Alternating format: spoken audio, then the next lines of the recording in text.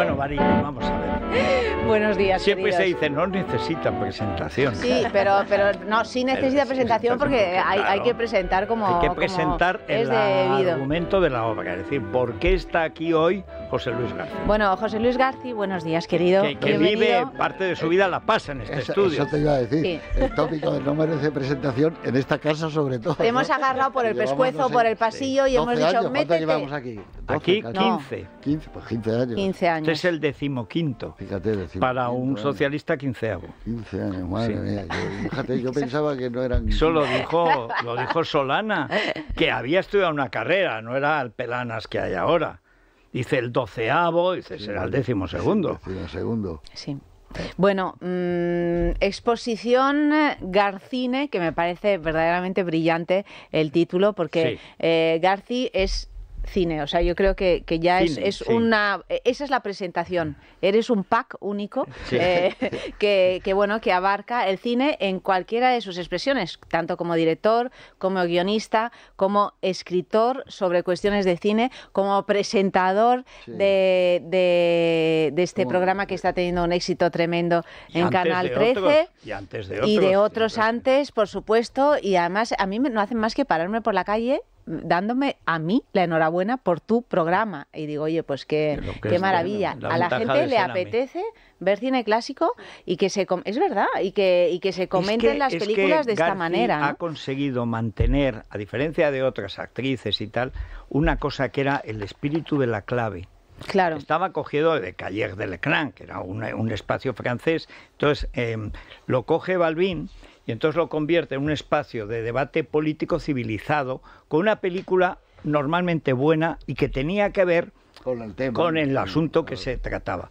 Entonces, eso, que es la época de oro de la televisión pública, porque no había privada, y además de la calidad también de la televisión eh, pública, eso ha dejado un pozo en varias generaciones, porque aquello duró años. Hombre, todo era bueno porque hasta la música de Bernaola. Sí. Bueno, es que era Carmelo preciosa. Bernaola, es que hablamos Claro, de claro, qué era nivel. buena, ese, ese clima que queda tan.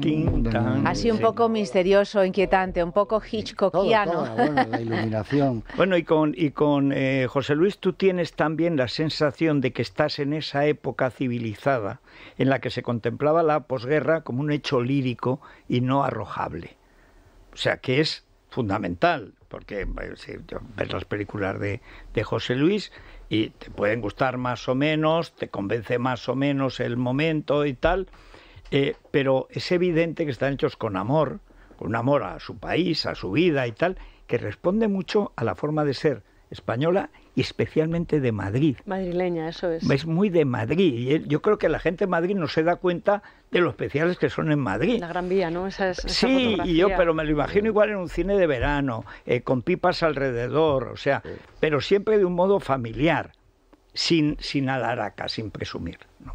Sí, está bien visto eso de lo de Madrid, pero todos los de Madrid, mi padre era de Asturias, mi madre Claro. de Andalucía, es decir, que Claro. la mezcla, sal- salgo en el centro, ¿no? Pero eh, ha pasado ya tiempo cuando se inaugura la exposición, que ahora se Sí, cierra. eh, lo, terminamos de quiero decir que, que siempre Garcine, que está en la Fundación Telefónica de Madrid, que es una retrospectiva. está en el, El Conde Duque. En el Conde Duque, perdona, perdóname, en el Conde Duque, que es una retrospectiva sobre todo tu, tu Está trabajo. muy bien, hay que Sí. agradecerle a gente como Andrés Amorós, a Luis Alberto de Cuenca, que es el que se ha encargado del catálogo, etcétera. Pero ellos lo saben y no es una, a estas alturas ya no vas a andarte como bada. Yo me he sentido un poco un impostor, porque es como si yo hubiera recibido todo y hay mucha gente que ya no está y que lo merecía y a las que me hubiera gustado darle la mano uno por uno, ¿no? Entonces, esto te pasa cuando hay una exposición cuando ya la gente no vive. Ya, bueno, pero en este caso el difunto es un vivo, pero, Sí. pero claro, pero te sientes un poco raro, ¿no? De decir, oye, y hay un recorrido por por todo, por eh, libros de gente que te ha editado hace muchos años, por las películas, todo, fotos de, de tu infancia, todas estas cosas. Entonces, es una sensación un poco extraña. Es un poco extraña. Pero sí que se Bueno, es extraño porque está vivo y además se conserva bien. Sí, ¿eh? pero son 40 años del primer Oscar que recibe nuestro país. Ese es el, Entonces ese es el un poco es el, pistoletazo. Sí, esa es la clave para hacerlo, ¿no? Los Luego que tú has años. colaborado, José Luis, tú has eh, puesto muchísimo material, has Pues tenido claro, que hacer lo que han- claro, yo tenía eh, carteles de las películas originales, algunos, por ejemplo, el que hizo Saúl Bass para la película de, de Canción de Cuna, y bueno, claro, y con claquetas originales, de, de volver a empezar la claqueta original del rodaje, pero por eso te digo, mucha gente con la que yo he estado, el primer día de rodaje de asignatura pendiente está recogido, que fue en Miraflores de la Sierra, todas estas cosas. Pero y, no conservas el cuadro de Lenin que tenían encima de la casa con un marco Sí, peligrosísimo. sí, sí. Porque sé, es que además a nada que pongas entusiasmo con aquellas paredes, Sí. se te cae encima el cuadro y la asignatura pendiente es la asignatura para Eso siempre. era, no, no, eso era de Atrezo, de la Casa Mateos. Aquel, A mí lo que me chocaba Lenin. no era el cuadro, era el marco. Sí. El marco era un peligro, o sea... Y le decía, ¿y qué pone ahí? Decía él, si es uno de los rusos más claros que he leído yo en mi vida. Y le traducía. los trabajadores, lo que fuera, ¿no? Y se lo inventaba. Y, y además, eh, Garcine, tenemos eh, García, asignatura aprobada, que es el, eh, el 40 aniversario del primer Oscar de cine español, este libro estupendo, eh, que está editado por Reino de Cordelia, que es una editorial que hace unas ediciones preciosas con un papel del- de los que Sí, no es de hay. guardar, es de guardar. guardar. y con fotos, y además me imagino que también con fotos inéditas, Fotos, sí, hay mm, que es lo que interesa en los libros de cine y en el que bueno también se cuenta pues esa asignatura aprobada que ya no es pendiente y yo te y quería saber eres creo que te han nominado al Oscar tres veces Cuatro. puede ser cuatro Eh, eres el que más eh, el No, el que más, eh, pero que para mí es un honor junto con Vittorio de Sica y con. No, pero digo, de españoles, No, españoles no hay nadie con cuatro nominaciones. a estamos cuatro en el tope contigo Saura tiene tres.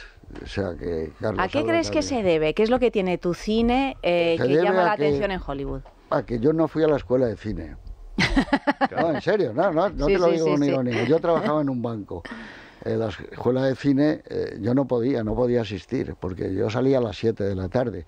Te hablo antes de la jornada intensiva. Yo entré en el banco, terminé preuniversitario y de letras, imagínate qué disgusto, un preu de letras con latín y griego, y te metes en un banco. Y entonces yo no pude, yo hubiera dado cualquier cosa por haber ido a la escuela de cine y haber estado con chavales de mi edad hablando de películas y ese plano y vistes cómo ella le mira y todas estas cosas, pero no fui. Entonces yo aprendí, digamos, he aprendido viendo películas, viendo películas, viendo películas de Hollywood, que es lo que a mí me gustaba. Ahora está mal visto, pero a mí me gustaban los westerns, los musicales, todas las películas esas que se hacían en la época dorada, que va desde el año 30 hasta el 60, Mm. que es John Ford, Howard Hawks, Alfred Hitchcock, todos estos. Que son finalmente las que estamos viendo en Cine Clásico, Pues en el tu estilo- programa. el estilo y los mío- melodramas, que yo creo que en, en José Luis hay o- mucho del melodrama melodrama. me encanta, Exactamente. claro. Es que el melodrama es fundamental. juzgue. Es fundamental. Sobre todo para el tipo de, cine siempre atento a los sentimientos que hace José Luis. Sí, bueno, Yo claro. creo que efectivamente fue muy bueno que no fueras a la escuela. No, no, pero no lo digo por eso, digo porque yo me fijé en un tipo de cine muy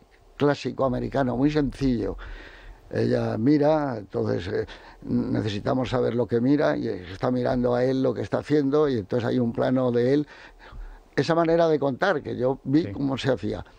Cuando yo tuve la suerte de llevar las películas a Hollywood, porque salieron elegidas en España, ellos encontraron un lenguaje muy cercano a ellos. Entonces, por eso tuve suerte y la nominaron muchas veces. El propio Robert Wise, que ahí lo sale en esto, dijo, García es uno de los nuestros, porque les extrañaba como, es como te diría yo, como si un chico de Japón fuera torero y viniera aquí y hablara de, de todo, del chico del Perdona, golpe de los 70. chiquito de Nakamura y chiquito de Nagasaki, ha habido. Sí, y hay un jotero que ha venido de Japón, que vive en Zaragoza, que ha echado tripa y todo, cantó unas jotas tremendas. O sea, Claro. Pero hay una cosa en lo que dices que es muy interesante. El lenguaje sencillo del cine americano es lo contrario de lo que se hace en Europa a partir de los 60, claro. que es un cine anti eh, antisencillo, digamos. O sea, todo el, el, eh, Antonioni, el, el- Sí, el- bueno, el claro. silencio, Ese tal, ese es eso otro- es la negación de la narración Ahí viene cinematográfica. la ruptura, que es la nouvelle vague, ¿no? Cuando, Claro. cuando se, se minusvaloriza el escritor. y los actores empiezan a cogerse por la calle también. yo, Hay esa improvisación Yo vengo del campo del guion. Yo no fui a la escuela de cine. Yo he estado 10 años escribiendo películas. Para mucha gente, para Mercero, Jiménez Rico, Pedro Lea, Eloy de la Iglesia, León Klimoski, de todo tipo, 10 años. Y eso me dio un conocimiento y una experiencia muy grande de lo que es un director. Cuando yo hago la primera película, que es asignatura pendiente, yo tenía muy claro que lo que tenía que hacer era que le gustara a la gente. No Contar una historia.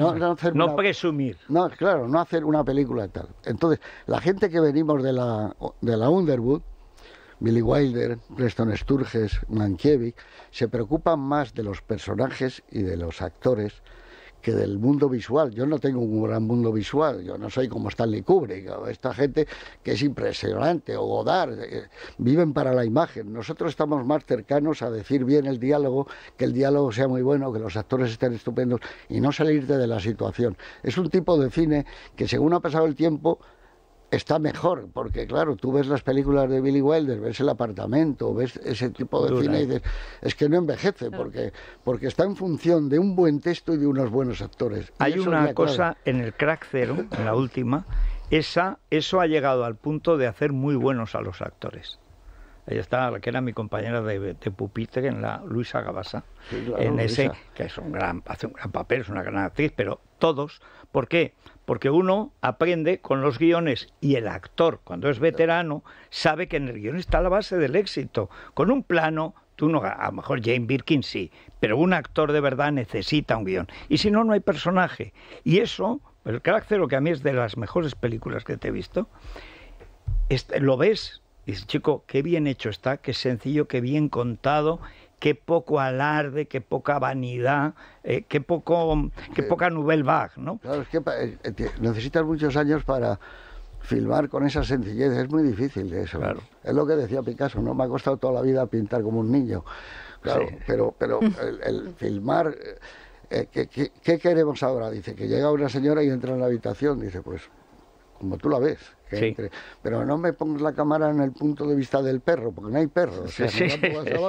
Entonces, la sencillez, y entonces hay directores como Howard House que tú ves que son geniales porque hasta cuando tienen la suerte, es una suerte, de que hace una película con una pareja que se enamora durante el rodaje, como le pasó a Bogart y Lauren Bacall, no es que deje la historia aparte, pero de repente está construyendo una historia distinta y es una historia de amor.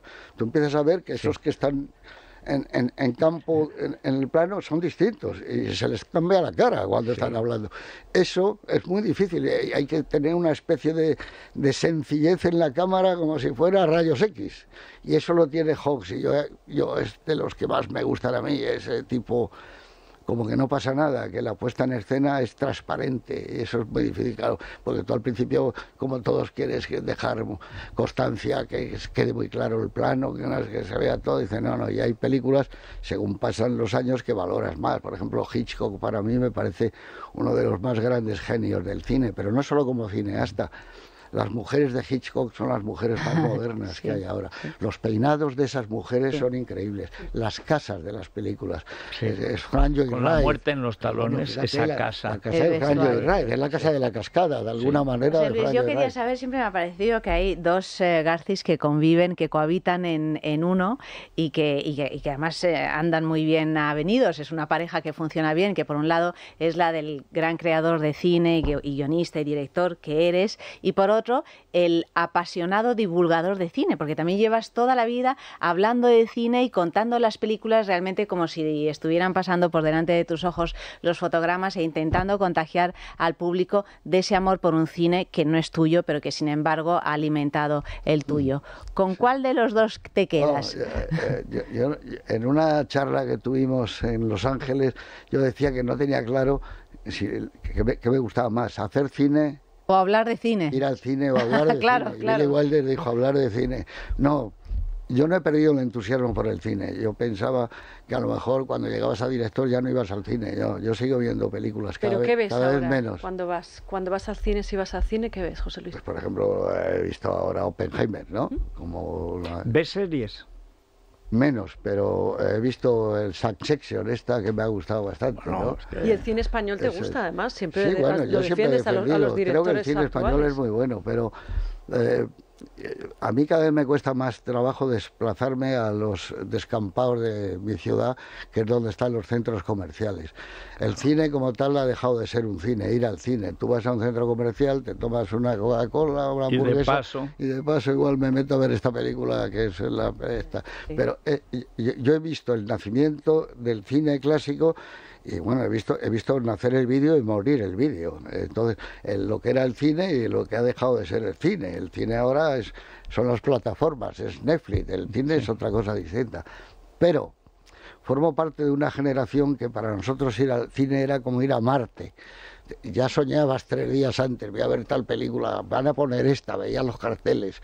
Joder, yo porque no era valiente como Trifó, me hubiera gustado robar una cartelera que estaban con las chinchetas puestas ahí. Bueno, los paneles pintados en la Gran Vía. Ni te, cuentas, ni te cuento en mi pueblo que por si acaso lo tenían con una rejilla como lo de las gallinas para que nadie se le ocurriera porque había unas ganas tremendas. Pues yo contesto y un distribuidor me dio un cartón de una película de lo que el viento se llevó auténtica porque me hubiera gustado eso, eso es una joya. Está en la exposición. Pero claro, estas, esas cosas yo no lo sé, el, cine ha marcado la vida de una generación que es la nuestra, ¿no? Eso es evidente. Y nos ha afilado mucho la imaginación, pero a estas alturas de mi vida, si me preguntas con qué te quedas, por ejemplo, con el cine o con el fútbol, si soy sincero, me gustaría decir la verdad y es decir, me quedo con el fútbol con la televisión o con la radio. Me quedo con la radio. Es decir, que me quedo con unas cosas que yo no pensaba cuando era más joven que iba a... Pero la gente creía que era mentira cuando yo decía, yo hubiera cambiado el Oscar por haber no ya ha ganado, haber jugado un mundial de fútbol. Sí, no, para mí. Yo hubiera sido un buen técnico de fútbol. ¿Dónde está el Oscar? Todavía puede pues suceder así. El Oscar está, en la exposición, pero normalmente en casa, ¿dónde tienes el Oscar? Encima de los cuatro guiones de las cuatro películas nominadas. Está eh, Volver a empezar, esta sesión continua. Eh, está la, ¿El abuelo? asignatura aprobada y el abuelo. Entonces está encima y ahora está en la exposición que se puede ver. bueno, pues eh, repetimos, García, asignatura aprobada, está en el Reino de Cordelia y además eh, Garcine, esa exposición eh, que celebra el 40 aniversario del primer Oscar a la película de lengua española Volver a empezar, que la podemos ver en el Centro Conde Duque en Madrid hasta el 15 de octubre, o sea que apresuraros porque ya queda poquito tiempo. Lleva ya un montón de tiempo, así es que... Gracias, José Luis. muchas gracias.